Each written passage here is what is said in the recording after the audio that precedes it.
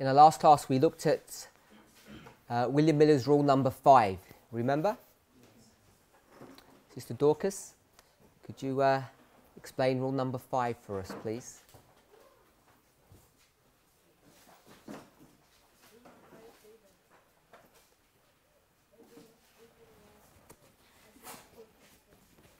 Every word has its. It doesn't say every word has its. Shall, we, shall I read the? Shall I read the rule to you? I'll read it to you. Scripture must be its own expositor, since it is a rule of itself. So, what did that? What does that mean for you?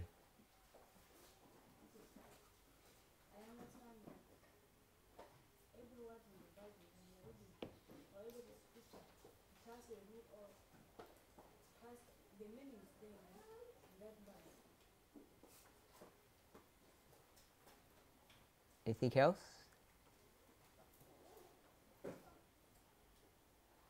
What about the bit of the rule? It says a, it is a rule of itself.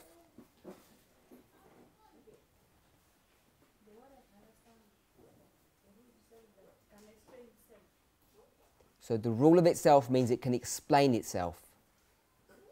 Yeah? My brother with the white shirt? You? Okay. So rule number five says, uh, let the Bible be its own expositor. So um, we also understood that can mean that let the Bible be its interpreter, be its own explainer. So um, when you continue reading that rule number five, it takes you to that point that says that uh, the Bible is a rule on its own. So we understood that the Bible um, you can use a Bible verse or a Bible, yeah, let's say a Bible verse to interpret the other Bible verse. So, but the Bible itself becomes a rule that uh, we can use to explain itself. You can't use another book to explain itself. Why?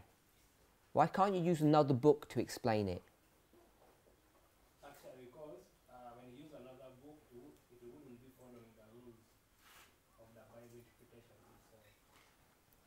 So, the Bible must explain itself because it's the only guaranteed source that you know that it follows its own rules from one portion of inspiration to another portion, or from one book of the Bible to another. They are allowed to explain themselves because we know they use a consistent rule. If you went to an outside source, an external book, what would be the problem? What's the problem if you use an external or outside source, my sister? Uh, we have seen that if, uh, let me say, you come with other theories, I follow you, I will be following you, the scriptures. So you might come with another theory or another rule, and that's what the problem is. The rule teaches that the only safe rule is the rules that govern the Bible because they're internally consistent. And if you use some other methodology or other rule from some other source, it's not reliable. It doesn't say another book or another source, it says a teacher. Don't go to another teacher who's using using what? Using different using different rules. What are the rules in the example that's given that these teachers using? These three of them. Guesswork. Second one. A sectarian creed or a personal opinion. So it's ignorance or a certain opinion. And the third one, showing off, or we might call it pride or gadal. They want to make a name for themselves, and that's why they're going to explain something. So you can't trust any of those three things. Does that mean you should never go to a teacher? No. Who are the reliable teachers?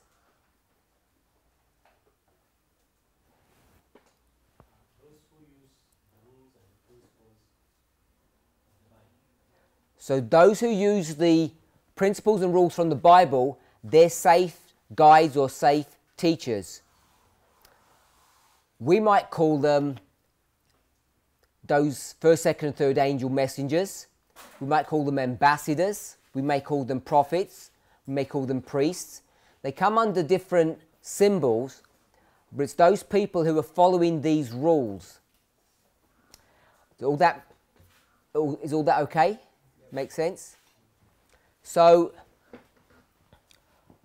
part of the problem is who are these people that are following these rules that you can trust, these guides or these counselors? When you take the biblical stories, sometimes they're clear. So, would Moses be a safe teacher?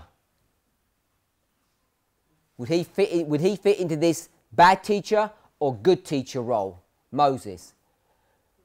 Good teacher or bad teacher? Good teacher or bad teacher? So some, someone, one, some people said bad, one person said bad, and the rest of us are saying good. So I guess we could ask ourselves if he's 35 years old, is he a good teacher or a bad teacher? Good or bad? It's bad if he's 35 years old. If he's 85 years old, is he a good or bad teacher? It's good. So obviously he's not improved with age. That's not the point we're trying to make. Because if he's 120 years old, is he a good or bad teacher? A bad teacher now. So it's all about the time period in which you live, or we might call the dispensation in which you live, that makes someone safe or unsafe. So Paul, was he safe or not very safe? Is he a good guy or bad guide? Depends. That one's a bit easier because he comes under two names, Saul and Paul. So it's easy to divide between the two. So when we come to our history, not our history, we'll go to another one. Is Miller, following Miller's rules, is he a safe teacher?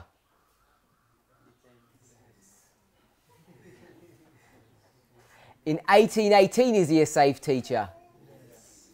Yeah? So, is he guessing? No. Uh, is he showing off? Does he have sectarian creed?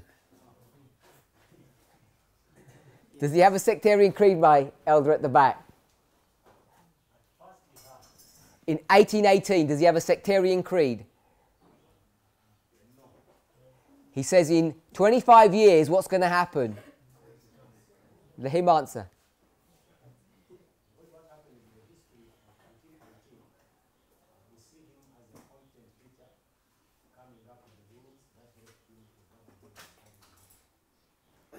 Good. What is he saying in 1818? What are his words? What are his words in 1818? What does he say?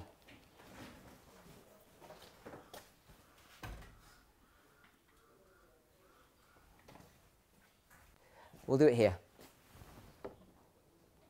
We're in 1818. And what's his words?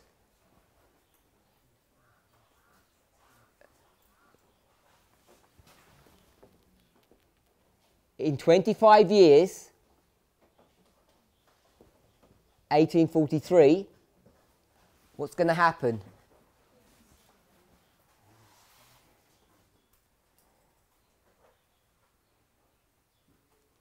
You're not sure of the answer? What's he, he says, in 25 years, what's going to happen?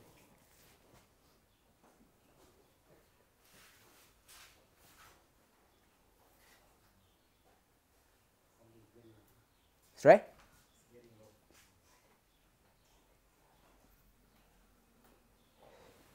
My sister. He says in 25 years it's going to be the second advent. Where did he get that from?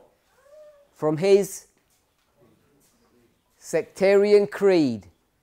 But the problem is, is it sectarian? What does sectarian mean?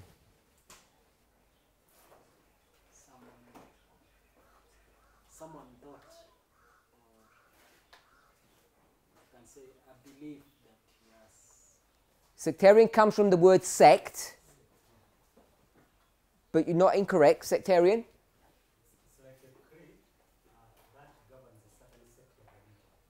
Good. If we say sectarian sect and say sector, I'm not saying that's the correct word usage, but we'll just play on words. A certain sector of Christianity. Now, the thing is, it's not just a certain sector. Everyone believes that. Whatever sector or sect you're from, all those Christians believe this. That's why it's hard to discern. Did you have your hand up? So it's not easy for people to pick up because it's not one group are saying, oh, um, this is just our sex view, sect, um, and the other one had a different one. Everyone believes the same thing. So it becomes difficult to have this sectarian concept here. But he picked this up from the church and it's wrong. So is he a safe guide? Not, is he? He's not using, he's not even following his own rule to do this. The Bible is not the expositor. He's actually got what, according to his own rule, a sectarian perspective of what's about to happen. So he's already made his message muddy or difficult. Did you have a comment? You agree? We all agree with that? So, he's the first angel's message. And he's got this sectarian view. You go back 1800 years, and what do we discover?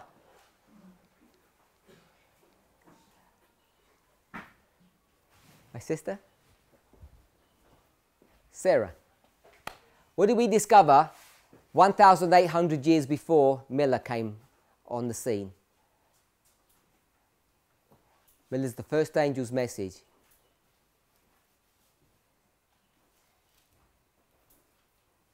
Who are we speaking about? 1800 years before. First angel's message. Messenger.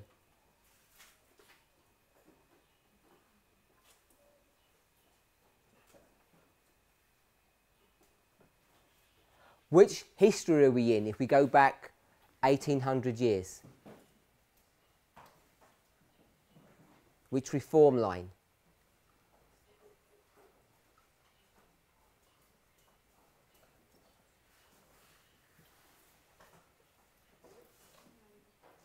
Give you a choice.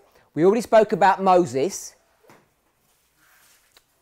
and we already spoke about Miller. Which other line do we speak about? Line of Christ? Okay, who's the first angel's messenger?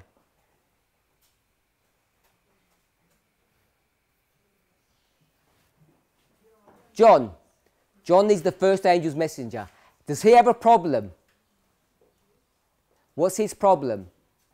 Does he show off? Does he guess? Does he have a sectarian creed?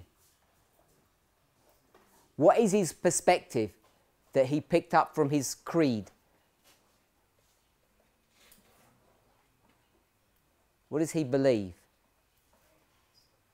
Do you know? I can't hear you.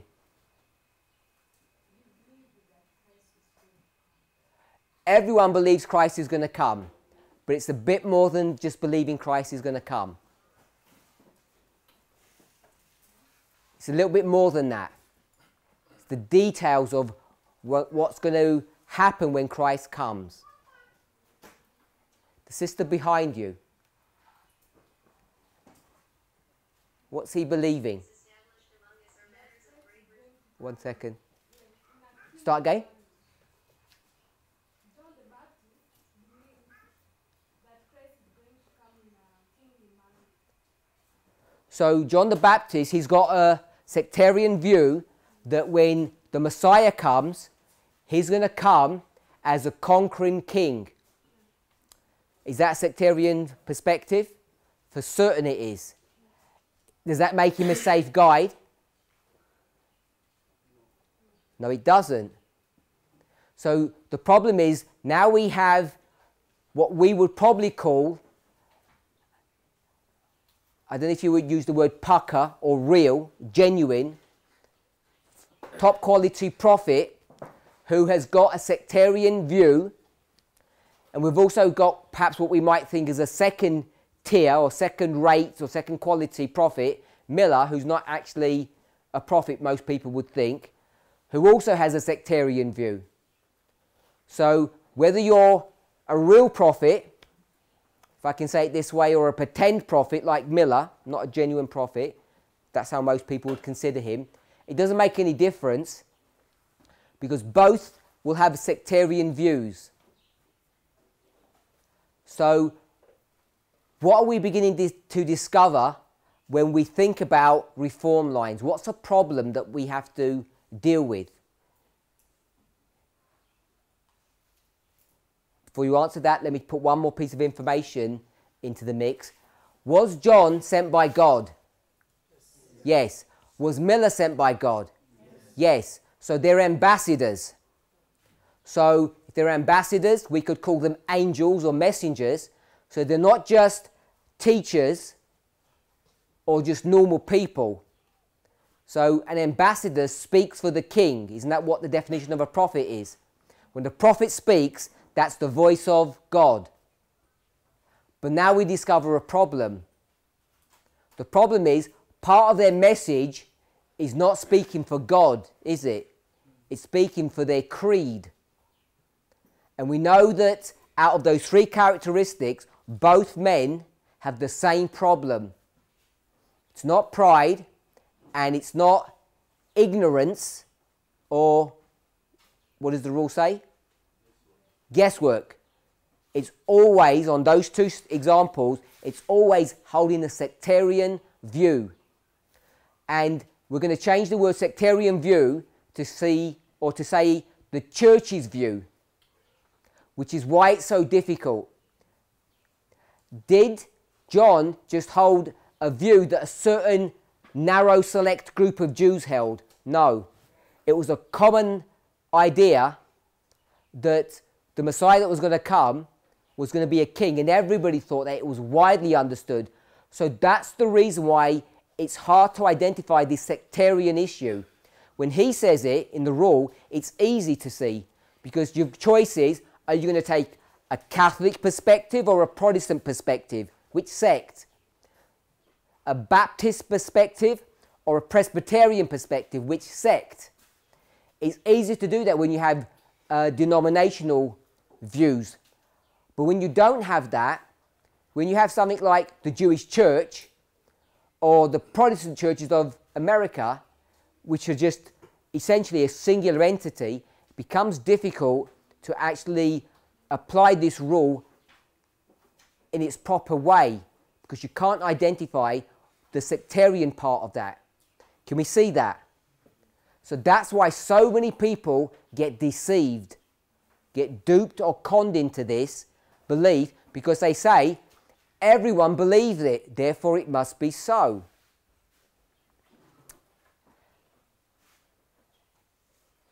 So we've discussed John, we've discussed Miller, we mentioned Moses. Moses wasn't safe at the beginning. Why is he not safe? Put your hand up. Why is he not safe? He has a sectarian creed, a sectarian perspective. Is he guessing? No. Does he have pride? We'll give him the license to say he's not a proud man, even though he does have, you can see pride in his uh, demeanor, in his behavior. He's a prince.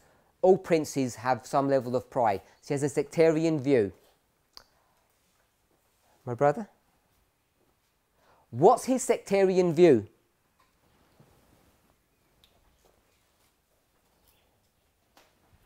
What's Moses' sectarian view that makes him an unsafe teacher?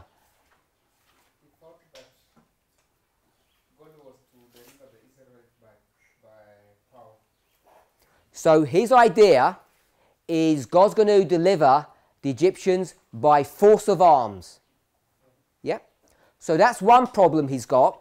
He's got another problem as well. What's his other problem?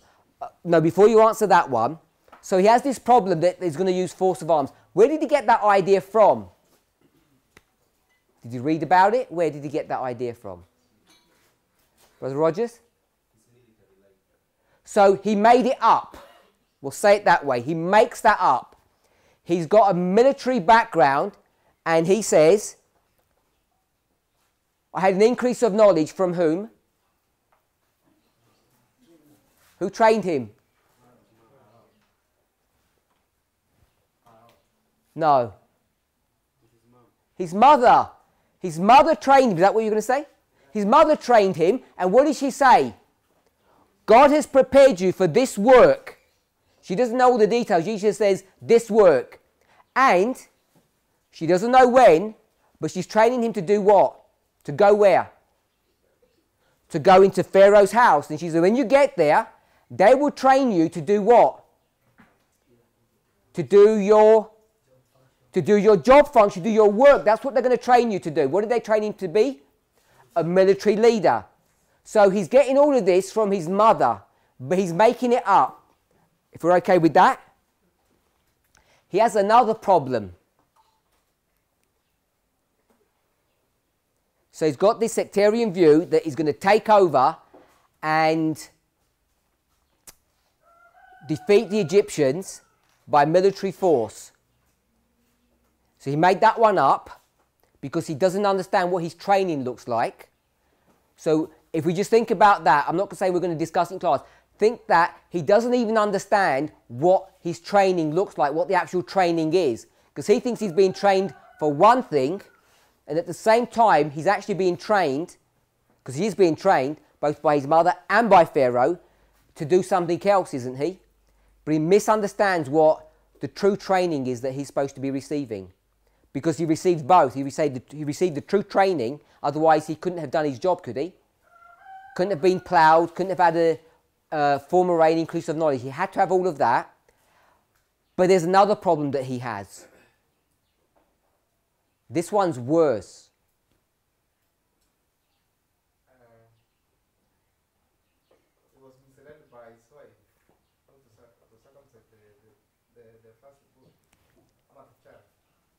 So that he's misled by His wife. what's his wife's name? Zipporah. That one. Before that. Before that.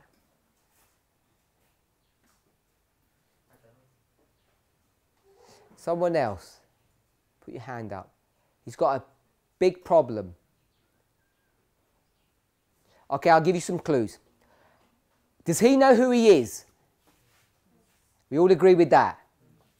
Do you agree with that, my sister? Does he know who he is? How does he know who he is? Two answers, please. How does he know who he is? He's told by his mother. What I'm going to say is he has an internal witness. At least his mother does. And his mother gave him that internal witness. So we'll call that a feeling, if you're okay to do that. His mother had an awareness that this baby is special compared to all the other babies. She has the, I'll say feeling, we could say the Holy Spirit gave her that instruction or that guidance. She has an awareness and she gave that onto him. So, number one, he has a personal internal feeling, awareness that he's special. Number two, how else does he know who he is?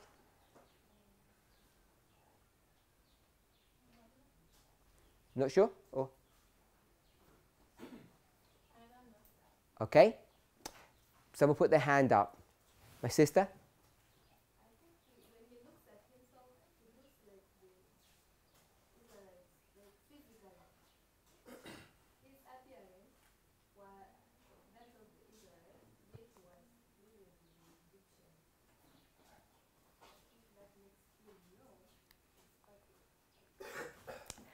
So, I don't know if everybody heard that. He looks like an Israelite. So, when he compares himself to the Egyptians, he says, I don't look like them, I look like. So, this is not aimed at you, don't take it personally, but I don't know if we've watched movies on this subject, because in the movies, he doesn't know who he is. He comes to 40 and someone says, Oh, by the way, no one told you, but you're an Israelite. The real story is what? When you're 40, do you remember what you were doing when you were 12? Of course you do. You might not remember when you were 12 months, but you know what you were when you were 12 years and 11 and 10. He already knew he was an Israelite.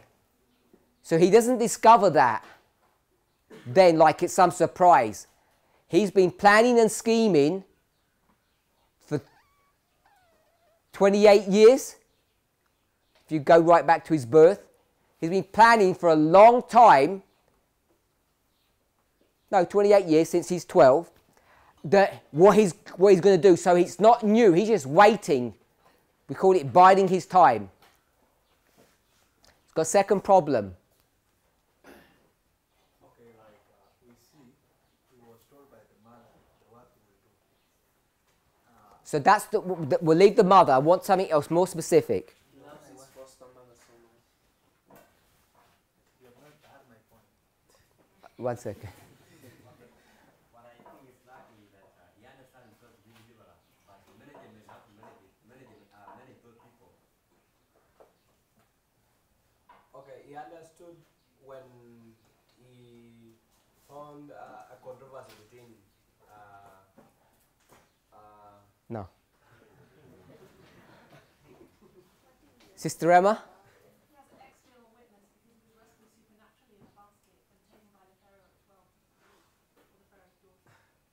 Okay.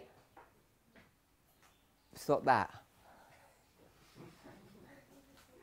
I can't hear you.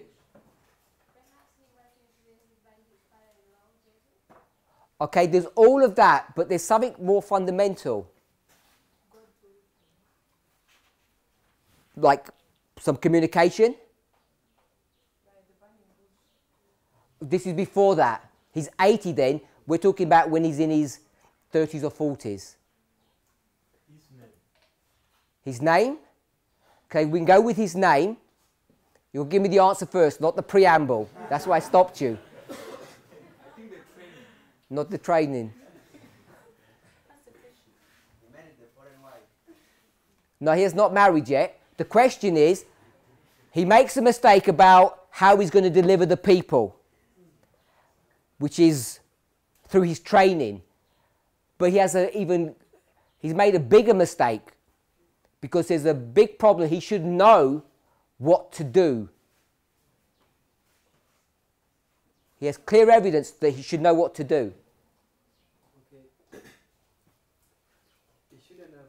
Uh, he knew that he was a reformer, uh, or the one who is going to deliver the children of Israelites. He shouldn't have gone and executed himself. Not that. It's the same point.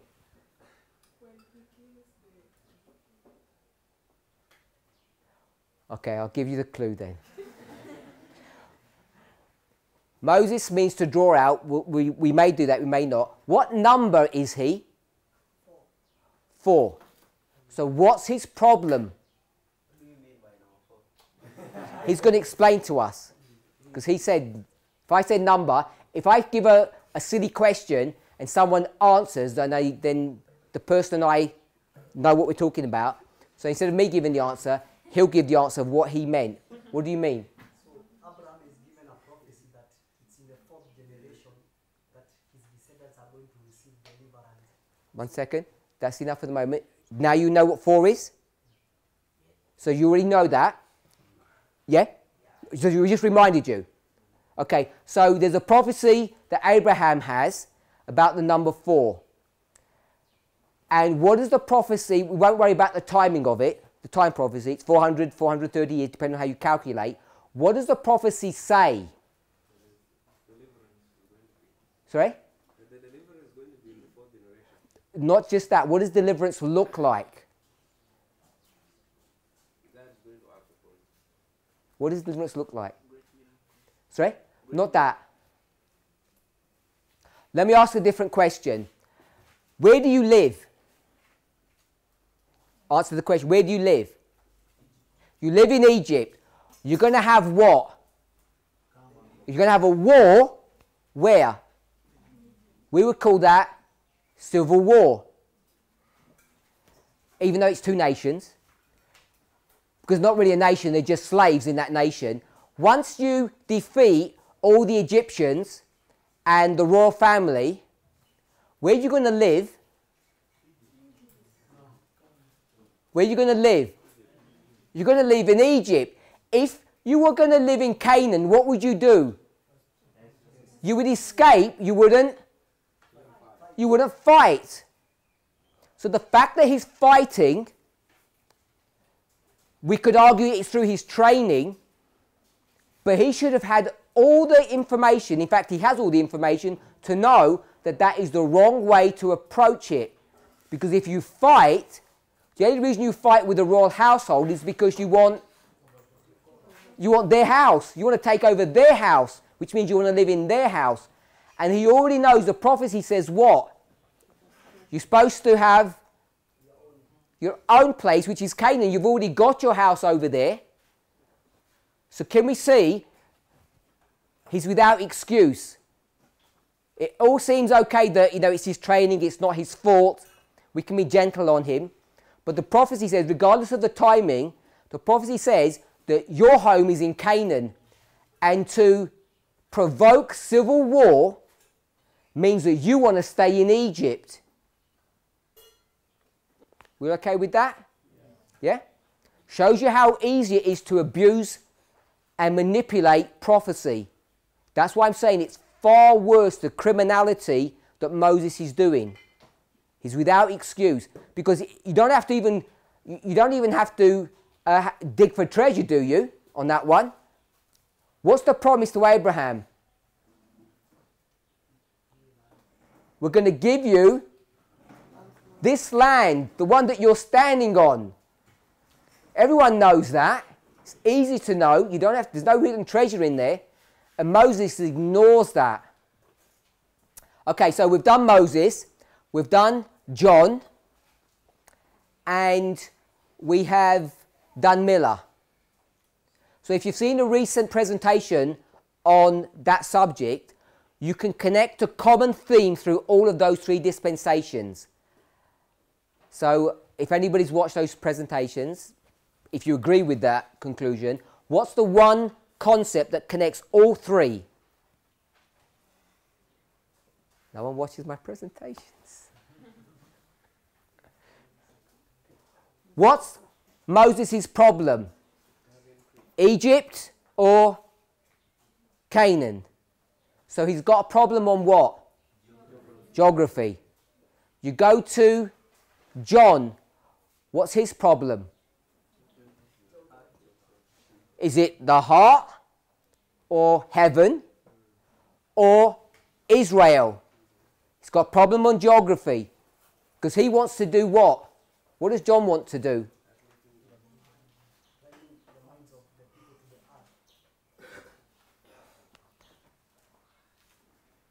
The Messiah's coming, and when he comes, what's he going to do? He's going to destroy where? In Israel, which is what kind of a war? Civil war, because they're the slaves. The Romans are the masters. It's exactly the same situation that Moses has. It's identical. He wants civil war. We kick out the Romans and we take their house, the Roman garrison, if you like. So it's problem of geography. Miller, it's an easy one. Problem of geography is sanctuary. We're all okay with that. Every single one of those three stories is also connected by another common theme. Subject of time. We can easily see that, yes? So we have 400, 430 years. Then uh, John has what? 490, uh, Daniel chapter 9. And Miller has 2300 days, Daniel chapter 8. Interesting that everybody said 2300 days and not, not the 2520. And for those of us who like trapping us, 2520 is not the longest and the last prophecy that's brought to view in the scriptures. We'll try and tackle that in one of our classes. It's just not. It's the 2300 days, despite what this movement in the past has tried to advocate. So now we come to our history. Before we come to our history, was Moses reliable? Partially, partially not. Is it easy to discern? No, because the sectarian position is the widely held position. Okay with that? Miller, is he a safe guide? Again, same issue. Partially yes, partially no. On certain points, yes, certain points, no. He holds to sectarian views. The problem is, sectarianism is really big, so big that everyone's in the mess, so no one can see it. The problem is, you can't step out and objectively observe what's going on, can you? That's the problem. It's a common theme in both the story of Miller, I say both in all three, of John and of Moses. We've got testimony of three now. So when we come to our own history, it should be relatively easy for us to see what the dynamics are and what the problems are and what the entrapment is. So, what characteristics should we be looking for in our history? We've, we've mentioned a few now. So, let's mention one. My brother, the t-shirt.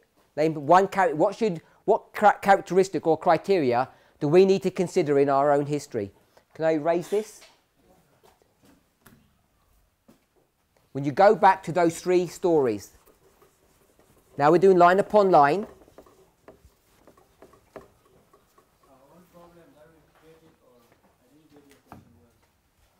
We've picked up a number of threads, a number of concepts. I want I want to list them out that when we view our history, we should be able to see things. Now, in each one of those three stories, are you able to have objectivity? What did we just say? Can you have objectivity? No? Yes or no? We said no.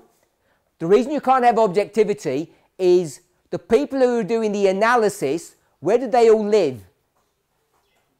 In the sect. They're all in the sect. It's not one sect that believes one thing and you're out of that sect and you say, that's a sectarian view. Do you think it's a coincidence that Miller never had any sectarian agenda?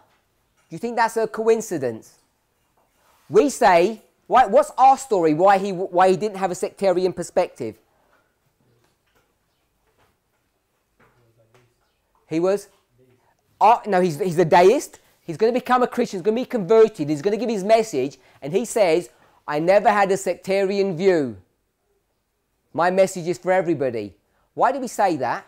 What's our perspective? What's, what's, what? You know when you say like, I want to give it a certain angle or spin, like a spin doctor. I don't know if you have that kind of concept. Why do we say, what spin do we want to put on that story? When we read about him. We want to say, he's a really nice man. Lovely Christian. Doesn't want to push his sectarian views on anybody. So he says, everyone's welcome into my camp meetings, my tent. Open to all. We, we put a positive spin on that. Are we okay? I want to suggest what he does, he wants to cover his tracks, he wants to hide his erroneous views and not make it sectarian. He wants to say, I'm going to do something that's erroneous and every sect has that erroneous view. So it's hard to point out his error. We never give that version, but we could, because that's what's actually happening. It becomes virtually impossible to find out what his error is because everyone is where? On the inside, you're not on the outside. We have three testimonies to that. When you come to our history, are we in the same mess? Yes or no? Okay, we're not in the same mess. It's easy to say yes because upon testimony there's two or three things established, but we have the ability to step out of that problem. What gives us the ability to do that? Sorry? The example? We have methodology. Methodology will give us the power to actually step out of this issue and observe things. Are we okay with that? The methodology that we have that allows us to do that is what? It's parable teaching. Parable teaching gives us the power to come out. And when you come out of that problem, you don't become part of the problem. Are we okay with that? Let me express it through a parable itself. Matthew 13, the parable of the tares. The story is about a field. And in that field, you have two things connected with that field. Hopefully, we'll get the right answer. What are the two things that are connected to that field? Matthew 13, verses 24 to 30, you have a story of a field. There are two things connected with that field. What are the two things that are connected to that field? The servants is one, and the plants. See how mature we are because we didn't say wheat and tares. So we didn't go down that trap. It's not wheat and tares, it's the servants and the plants. So the story is about the plants or the servants. If you go on quantity, which one's spoken about the most, what would your answer be? Servants. Check the verses. The servants are spoken of more than the plants are. But we know the story is about the plants. But the servants are connected with the field. So the problem, if you want to say it that way, is the plants. Do the plants have an awareness that there's something wrong? No, they, they don't. They're part of the problem. It's only the servants who are connected to the field, but they're outside of that issue that can clearly and objectively understand what the problem is. Can we see the relationship between plants and servants? Yep. So it's parable teaching that gives us the ability to step out of this issue and make sure that we don't get into problems. Now, parable teachings have been around for a long time. They're in every one of those reform lines Moses, Christ, Miller, and obviously ours. The problem is, when we first start our journey, do we know parables properly? We don't. If you don't know parables properly, what problem will you face? You can't get out of the problem. You remain in the problem. And if you remain in the problem, what is the problem? Sorry? You follow the creed because what can't you see? You can't see that there's a creed because everyone believes the same thing. Can we see that? So we're falling into the same problem as before, but now we have the ability to come out and objectively observe what's going on. You can see a similar concept in some of the other lines, but it's perhaps not so easy. I would suggest if you go back to the story of Samuel Snow, does he do that? Does he step out of the problem? I would say yes. You can see the same in Christ. He steps out of the problem. They're two easy ones to see. I'm suggesting you could go to Moses and, and do the same, same thing. So, in our history,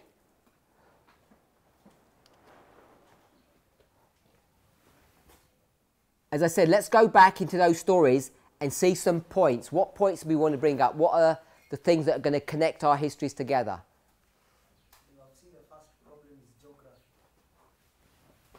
Someone else. Who said? Time. So we're going to address the issue of geography and we're going to address the issue of time. Another point.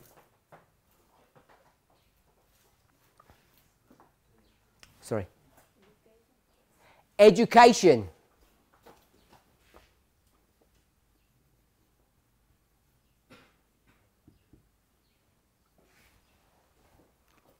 If you go back, it mentions specifically in each of those three stories the education of that person. Are we okay with that? In each one of those, John is the epitome of that issue that we say he was specially trained, specially educated. We already said that Moses was specially educated, and we've discussed the issue, perhaps, no, we haven't discussed the issue of Miller, but Miller was also educated. We could argue that he was self educated. Self educated is like John the Baptist, who was, we, we use the phrase homeschooled. If you want to do it, he didn't go to the schools of the rabbis. Self educated. I was thinking also of the, of the creed, the sectarian creed. So there's this issue of the creed.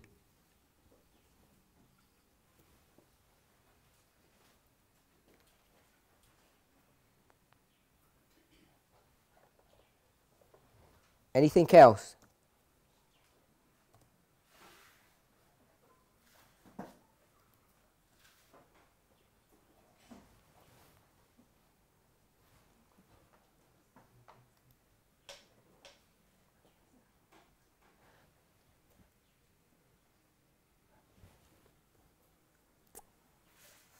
No ideas?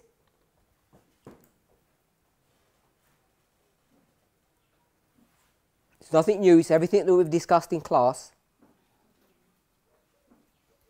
Someone says something? Sorry? The sect is the creed. What did you say of the understanding of things literally?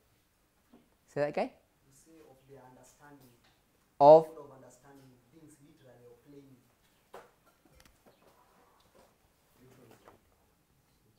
So I'm going to go with um, literal or spiritual. I'm not sure if that's exactly what you meant. Creed is the belief, sect is the group. I'll put the word sect. So, sect is the group, creed is what they believe. One more. We'll, go with one more. There are, there, are, there are a number of them. Sister Joy?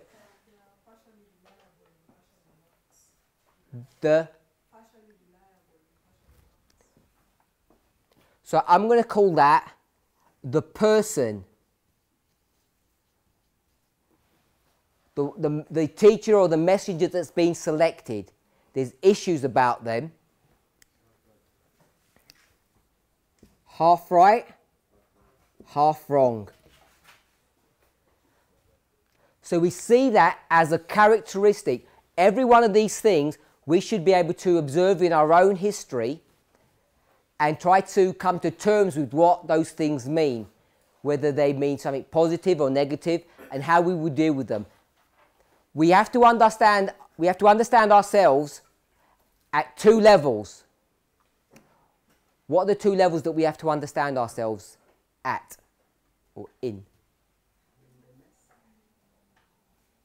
Sister Snyder.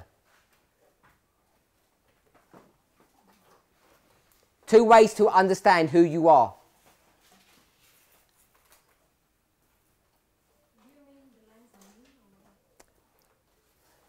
In the line that you're currently in, you should be able to view yourself in two separate ways.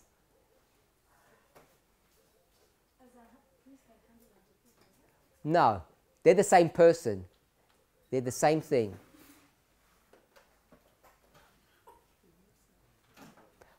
Priest is one. No. Priest is not going to be a good symbol because it doesn't give the contrast. Someone over here. My sister?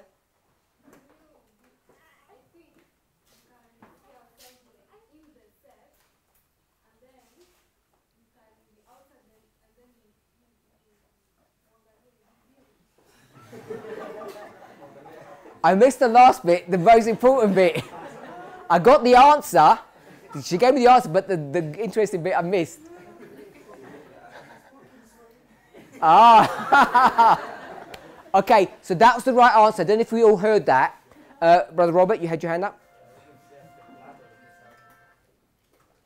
So my sister said, you're either in the sect or you're out of the sect. What did she say in Swahili? What, did she, what was that in English? In, okay, so she said the same thing. So you're either in or out. Brother Robert, you said? You're either the plant or the servant. Is that a case of Snyder? Yeah? You have to be one of the two. The plant is in the mess. I think someone said mess. You're in the mess or you're out of the mess. And when you're in the mess, you're just messed up. You can't see what the issue is. So the person is going to show you things that are half right and half wrong.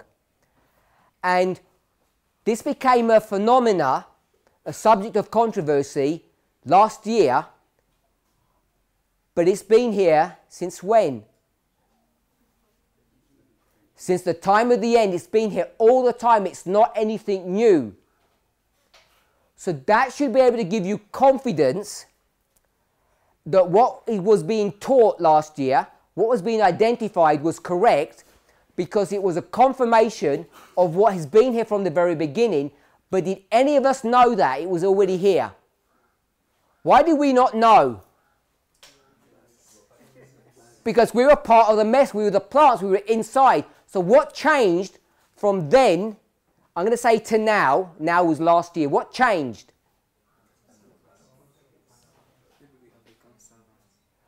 So, it's not that we've become servants, because we were servants a long time ago, but now we've become aware.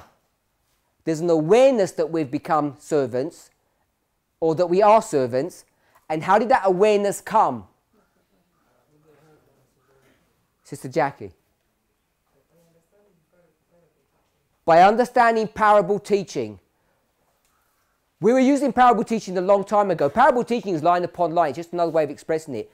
But now we've refined our understanding, and with that refinement, a major development has happened. It's not a refinement, it's a major development. It is refinement, but I mean, it's not, it's not minor. It's a major development. And the major development is that we can now come outside of the problem and we can identify this issue that someone is half right and half wrong, and that someone is whom? Generically. The first angel or the first messenger. They have a consistent problem. Can we see that? Yeah? So if we really believed in line upon line, if we really believe that, like everyone says that they do, us and those who follow Future for America, is there anything here that anyone could disagree on? Because we just went to those stories in the same way that we've always taught them. I've not extracted anything unusual. I don't think I have. I know it's difficult because we're all part of a cliquey group now and we're all friends and we, all want to, you know, sustain each other. But think objectively. Think objectively, seriously. Have we taken any of those histories and twisted them in a way that is not consistent to how we would have viewed them in the past? Moses, he has a prophecy that says when you're born, you need to leave. Now, in case you don't have access to that prophecy, maybe you didn't have the books, what does God do? He gives them a second witness, which is what? Someone already gave the answer. Not his mother.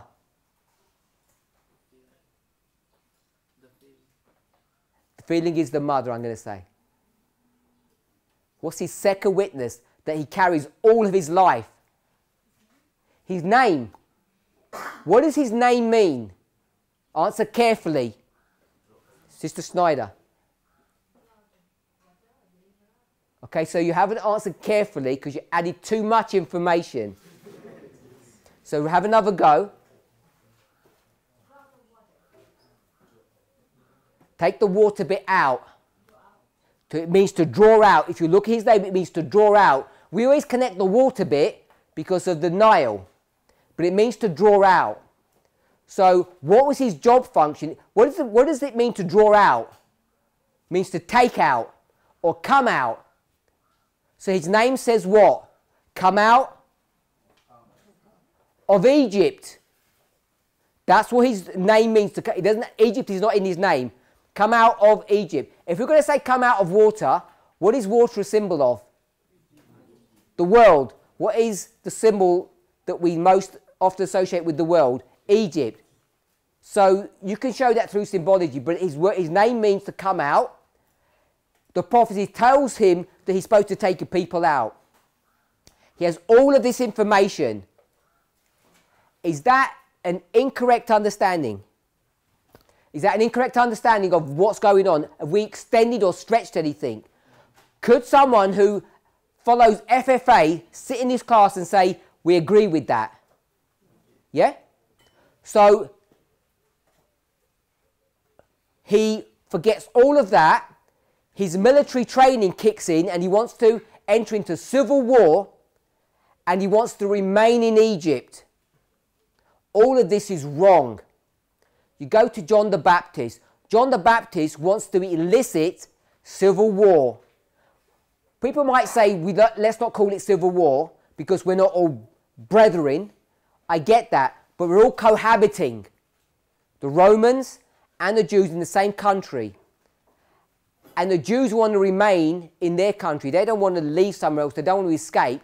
They want to kill the people who are oppressing them. So He's got a problem. John the Baptist has got a problem. Very similar to Moses.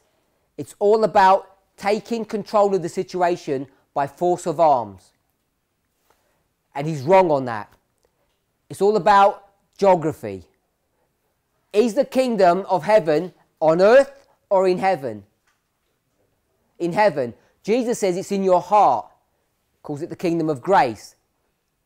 So again, that is nothing unusual. You go to Miller.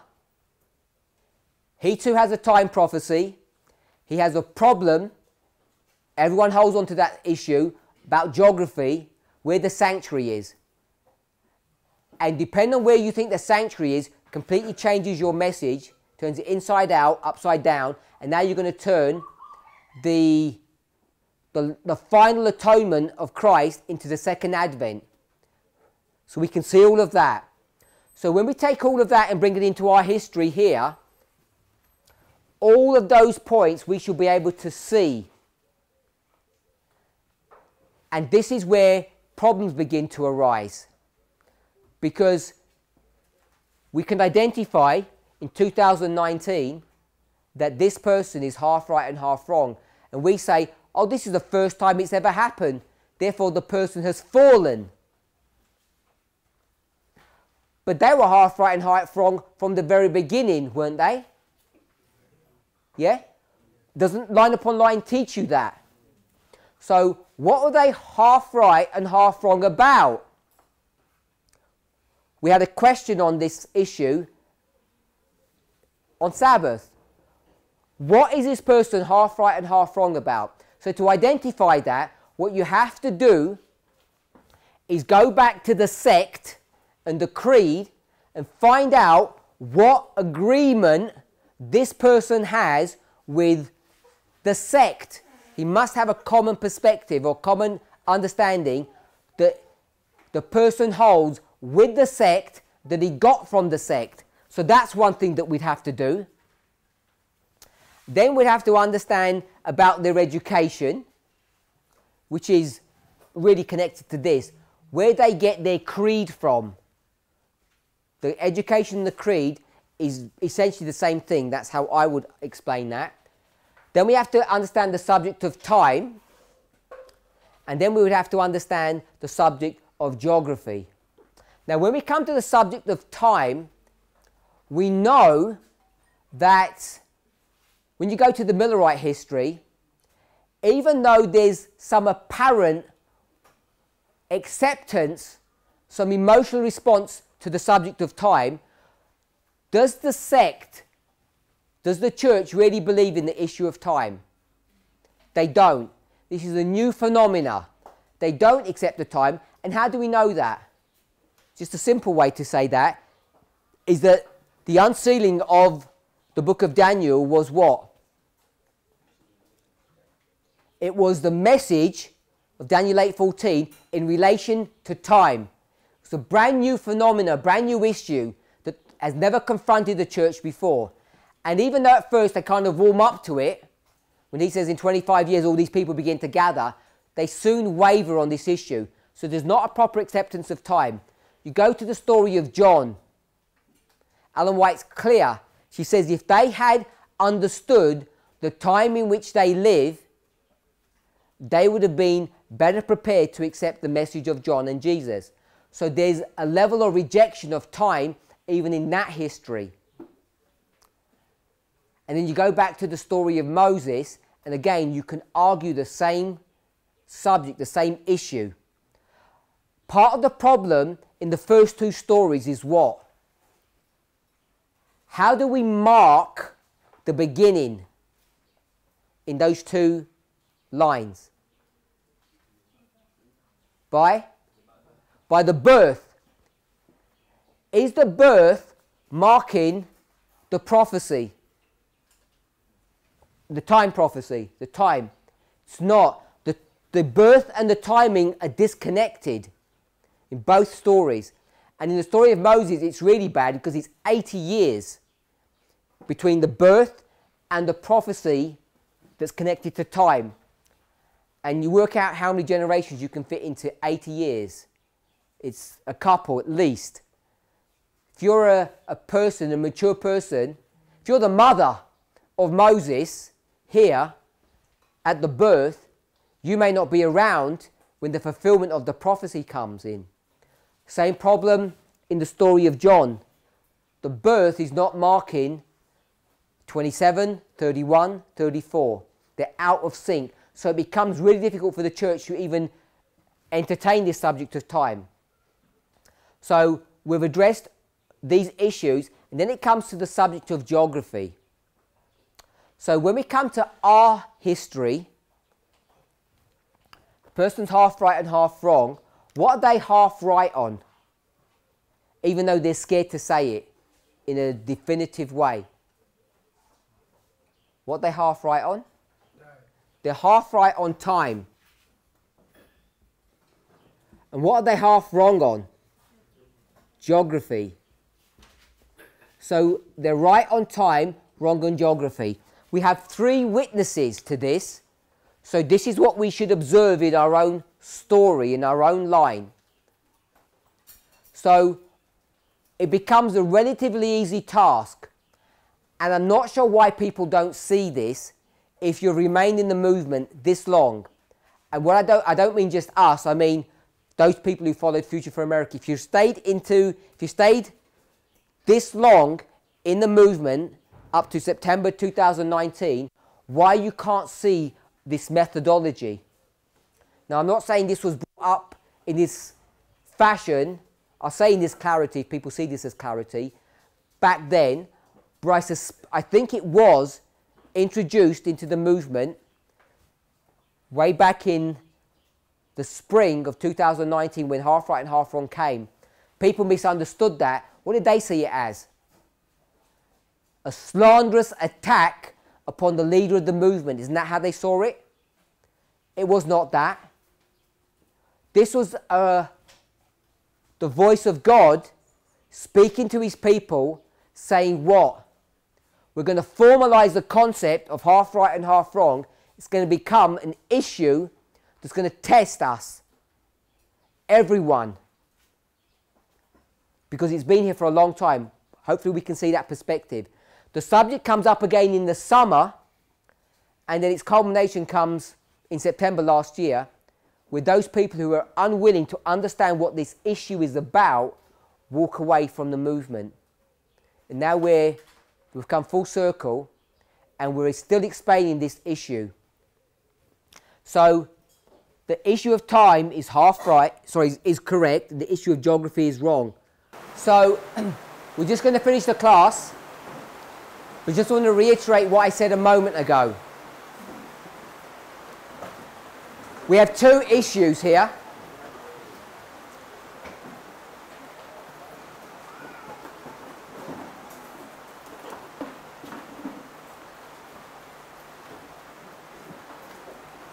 We'll wait a moment for people to uh, relocate.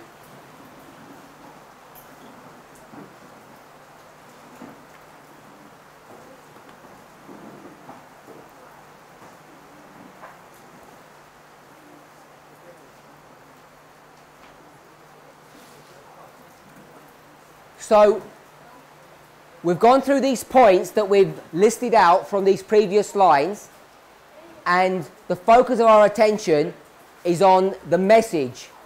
There's two components, time and geography. They're the phrases or the words that I've chosen to use. Time is an easy one to see, but I've chosen to call the second one, the second issue, geography. And I've explained why. In each of the histories, you can see a subject of geography going all the way through. Those three. But in each of those stories, we would tend not to call it the subject geography. In Moses, we'd call it the Exodus. That would be that line. For Christ, it would be the gospel.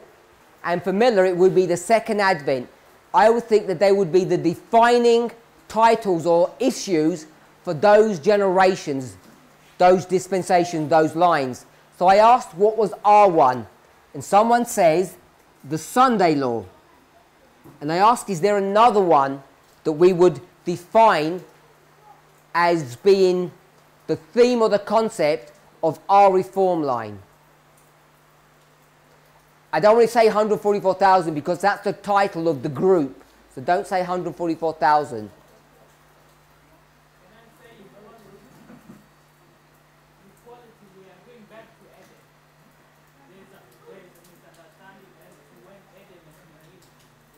Okay, so my brother says equality. Anyone else? So I'm happy with the Sunday law, but I'm going to put a synonym with that. Close of probation.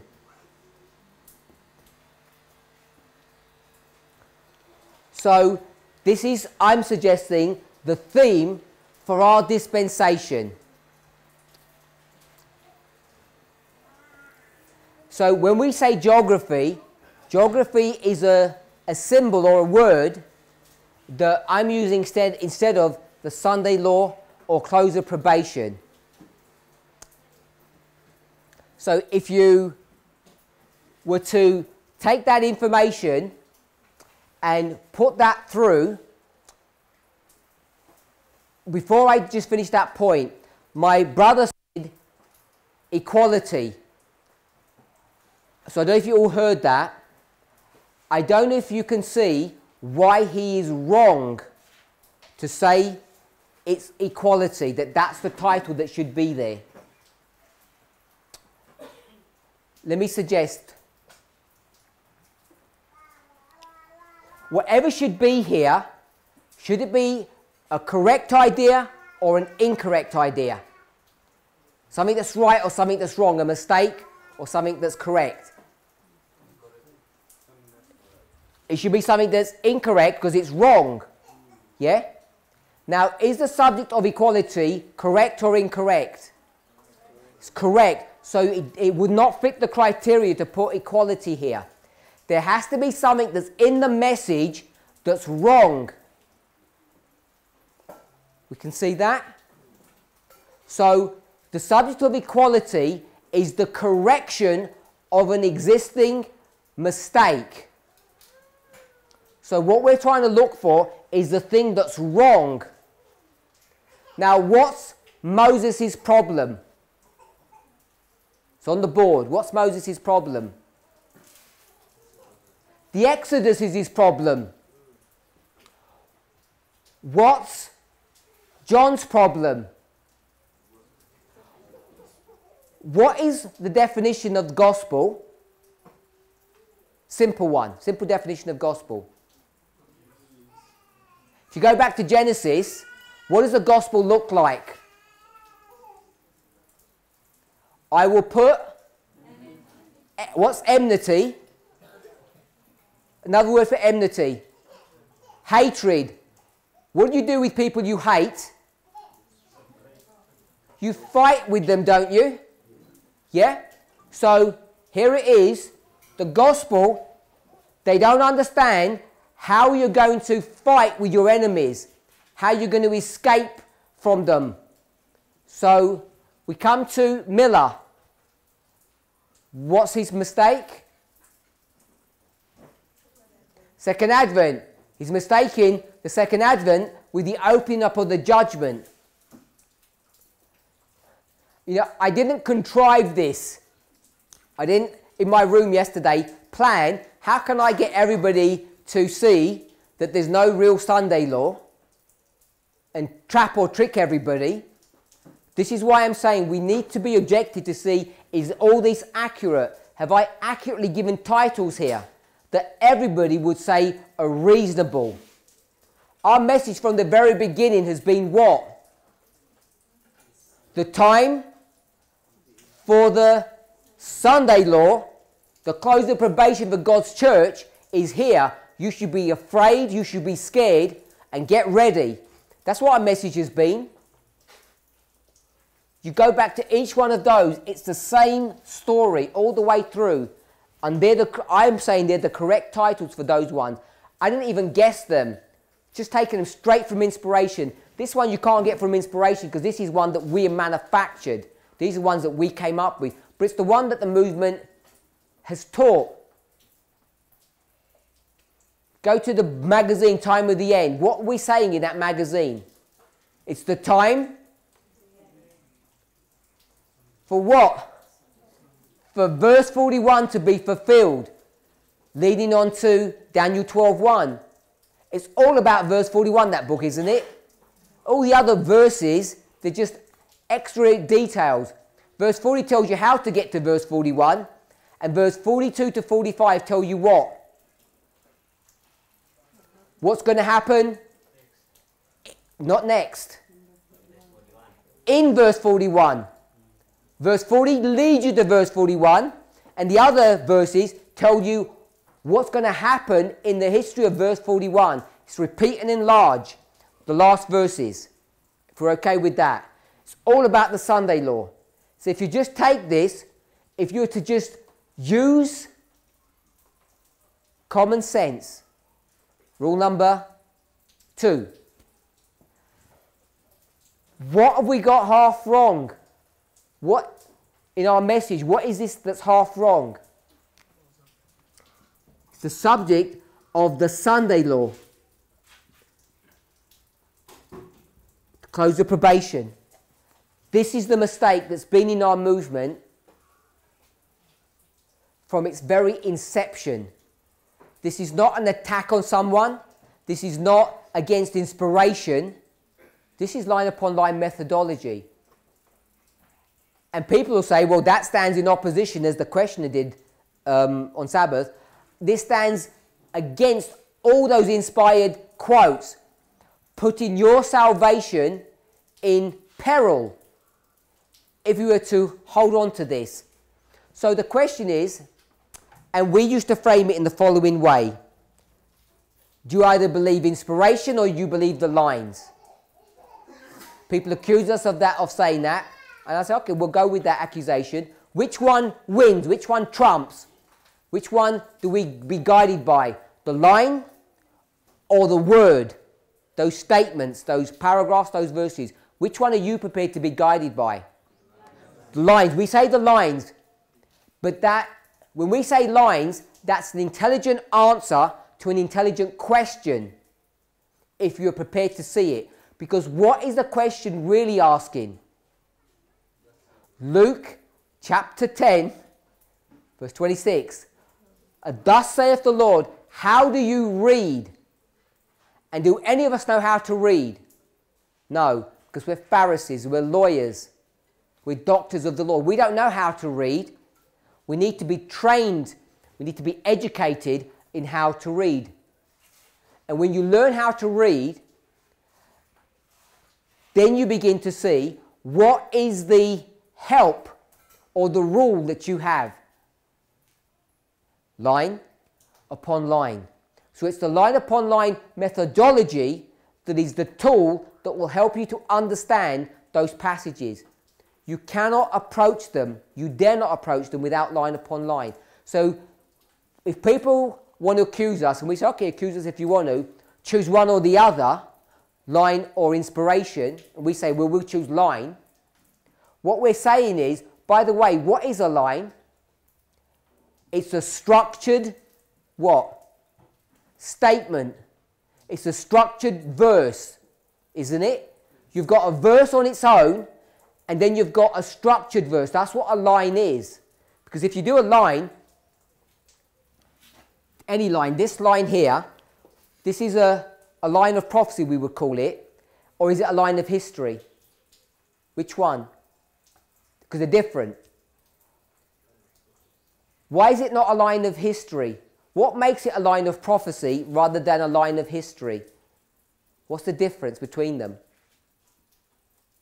Because 2019 is a historical date and it's a prophetic date. What makes it prophetic? What do we say? We say an inspired statement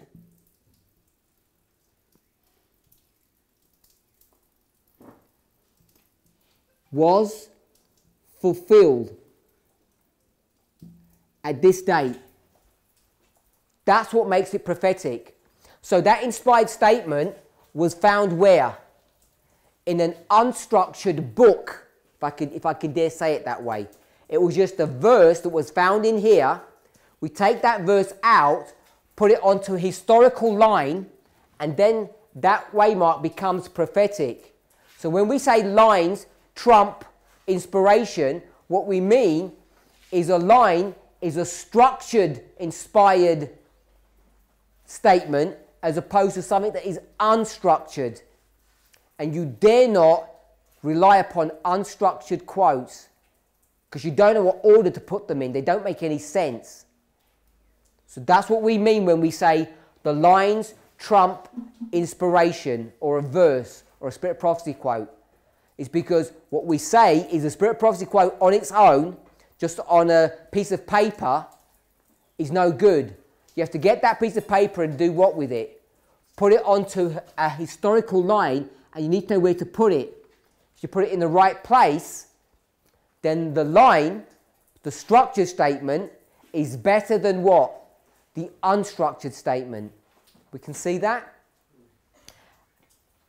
So, if you could see all of this, and I, what I don't understand is why those people who follow Future for America cannot see. I can't even understand why Future for America can't see this.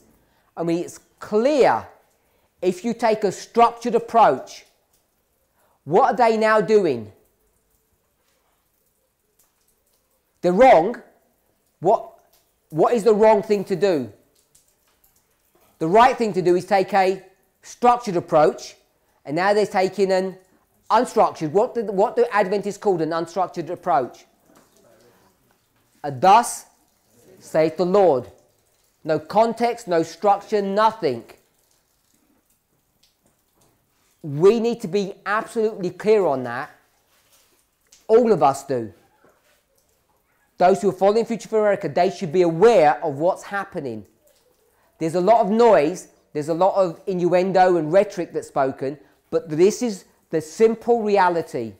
You take line upon line, you take the three histories, you see that they're all wrong. The first messenger is always half wrong from the very inception of their message. Therefore, we should expect to see it in our history. And do we? Yes. We see it now in 2019. It becomes a repeating theme, a repeating concept, because it gets formalized there. And at the same time, we can see it theologically like this, structurally, we can also see it in the world. You can already see in the world what this issue of the mark of the beast or the Sunday law really looks like. So we have multiple lines of evidence, but the primary one, the simple one, is the one that we've discussed. Let's pray. Our Heavenly Father, we want to thank you for your goodness and mercy. Lord, help each of us to be able to conceptualize and internalize these thoughts and ideas. They're not new, but they may be a new revelation because we may not have seen them in quite the same way. Help us to understand the real story behind these facts, the real prophetic significance of statements that we read. Lord, we ask for a continued blessing upon us in Jesus' name.